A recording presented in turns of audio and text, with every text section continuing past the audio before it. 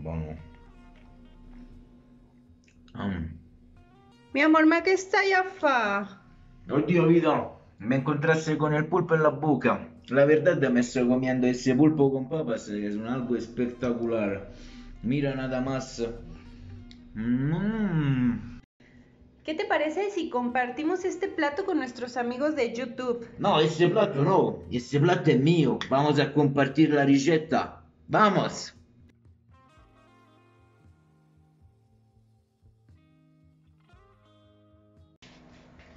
Para nuestros platillos, amigos, necesitamos nada más el pulpo, que hoy es nuestro protagonista.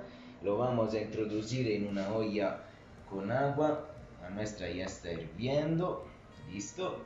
Y agregamos un poquito de verdura para vegetales para el sabor.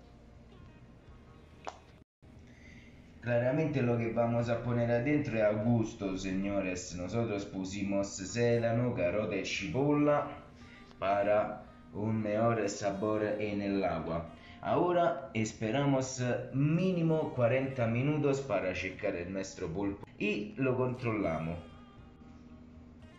Aquí depende del sabor que ustedes quieran transmitirle a su pulpo, porque depende del platillo que quieren cocinar. A muchas personas no les puede gustar algún ingrediente, etcétera. Entonces cocemos nuestro pulpo con algunas hierbas o vegetales que le den un poquito de sabor diferente y lo que va a suceder es que el pulpo va a quedar con un sabor extraordinario. Entonces dejamos el pulpo tapado. Entonces vamos al siguiente paso. Ok, el siguiente paso aquí vamos a limpiar bien nuestras papas, vamos a quitarles la piel y cortarlas en cubitos medianos para después pasar a cocerlas. Yo ya tengo por aquí preparada mi agua que estoy esperando que hierve. Es importante decir que nosotros compramos un pulpo grande porque vamos a hacer tres diferentes platillos. Este es uno de ellos recalcar que nosotros vamos a usar alrededor de dos papas grandes, que tengo aquí dos pequeñitas y una grande, porque vamos a usar solamente cuatro tentáculos de nuestro pulpo. Vamos a hacer cuadros medianos. Nuestras papas están listas y el agua está hirviendo. Vamos a dejarlas hasta que estén un poco más suaves. La única manera para saber si nuestra papa está lista, amigos, es probarla. Para el pulpo, amigos, un poquito más diferente porque para saber si está listo se tienes que enforquetar, infilzar. Una vez que está mórbido, ya está listo nuestro pulpo.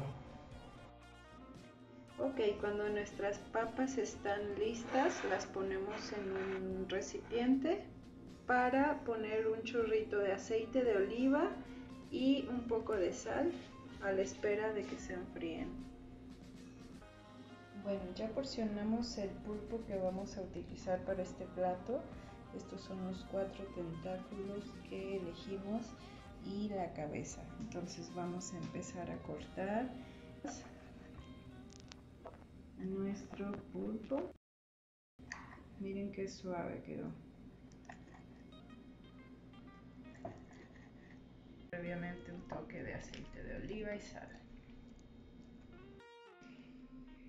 Pusimos nuestro pulpo con las papas listas en un bowl y vamos a agregarle un chorrito de aceite extra virgen de oliva.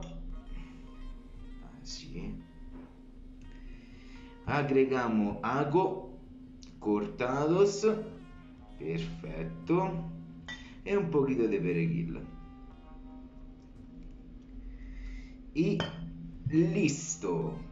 Espera, espera, falta un poquito de pimienta negra.